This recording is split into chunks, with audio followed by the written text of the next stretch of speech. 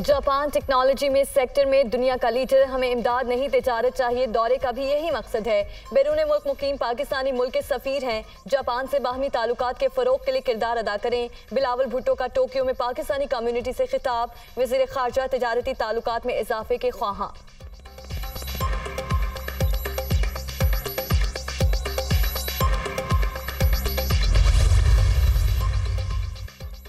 Sweden में कुरान पाक की बेहरमती के खिलाफ आलम इस्लाम सरापा एहतजाज। मुसलमानों का शदीद रद्द अमल का इजहार। ईरान और इराक समेत दीगर ममालिक में बड़े पैमाने पर मुजाहरे।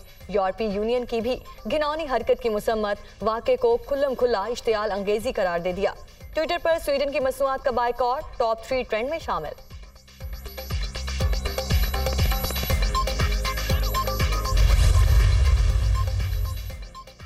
ओआईसी की स्वीडन में कुरान पाक की बेहरमती के वाक़े की मसम्मत, हंगामी इजलास आज सऊदी अरब में होगा।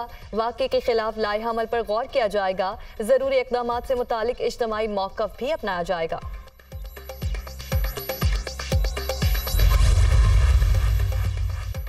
सदर ममलिकत की स्वीडन में कुरान पाक की बेहरमती की शदीद मसम्मत आलमी बरदरी से इस्लामोफोबिया के खिलाफ इकदाम का मुतालबा बैन मजाहिब, हम आहंगी और मुकालमे के फ़रोग के लिए काम करना होगा। आरिफ अलवी, चेयरमैन सैनेट का मामले पर दुनिया भर की पार्लियामेंट्स को खसूसी खत लिखने का फैसला। आज़ादी इजहार राय की आड़ में मजहबी जज्बात मजरूह करने की इजाज़त नहीं।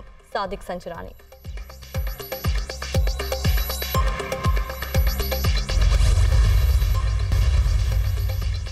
आईएमएफ से माहिदे पर पीटीआई में सफ़े मातम बिछ गए। ये मुल्क दुश्मनी में हद से गुजर चुके। साजिशें नाकाम हुई। कई चेहरे बेनकाब हो गए। लोग टैक्स नहीं देंगे तो हुकूमत को कशकोल उठाना पड़ेगा। सुबह दस बजे उठने वाली कौम तरक्की नहीं कर सकती। एहसन इकबाल की नारोवाल में न्यूज़ कॉन्फ्रेंस।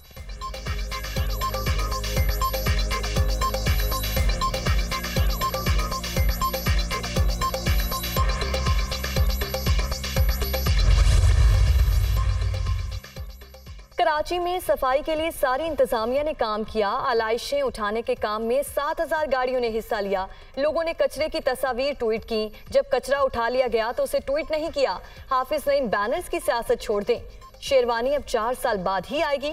मुर्तजा वहाब की मीडिया टॉक। मेयर कराची का मुस्तबिल में चीज़ों को मजीद बेहतर बनाने के आज़म का इजहार।